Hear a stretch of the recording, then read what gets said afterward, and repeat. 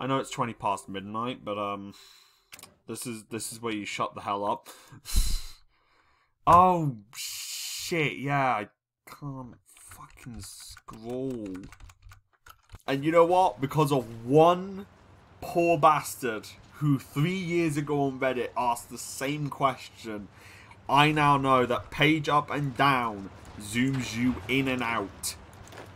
Because yes. Anyway. Right. You've now moved.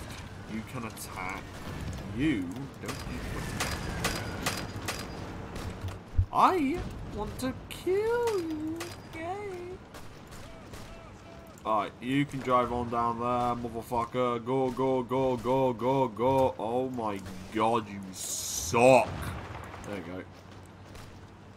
This is going to be the greatest encirclement the world has ever seen! Just watched The Bad Guys. Uh, if you get that reference, uh, tell me. I, I will make a I, I, I will make a review on The Bad Guys one day. It's a very good movie. It's a very fun movie. It's a very it's a very charming movie. It's a very good movie. Me likey.